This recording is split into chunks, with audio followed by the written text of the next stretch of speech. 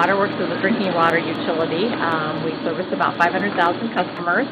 Our source water uh, is surface water, comes from the Raccoon and the Des Moines rivers in central Iowa. We also have an infiltration gallery of, um, that brings water through the stream banks and into the gallery, um, sort of using Mother Nature's natural filtration to uh, help with that water quality. The contaminants we deal with here, especially in the uh, springtime when the snow melts, ammonia confounds water treatment because it consumes chlorine and prevents effective disinfection. And so we're conducting some ammonia tests here, and a green color indicates the presence of ammonia in the water. Here we have a sample of the Des Moines River, uh, obviously uh, contains some ammonia.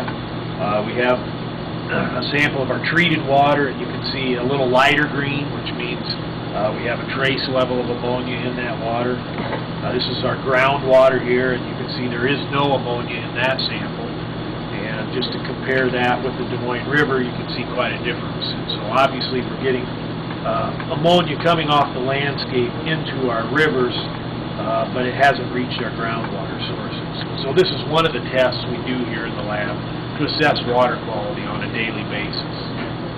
Ammonia consumes 10 times its weight in chlorine, and so it uh, complicates the disinfection process. We use chlorine to kill bacteria in the water after all the other treatment processes have been conducted. And if the ammonia is in the water after treatment, it's consuming the chlorine. And in fact, uh, we can have so much ammonia in the water that we're unable to add enough chlorine at times. And so this is a serious problem for us uh, at this time of year, especially when the snow melts and it's transporting contaminants from the landscape.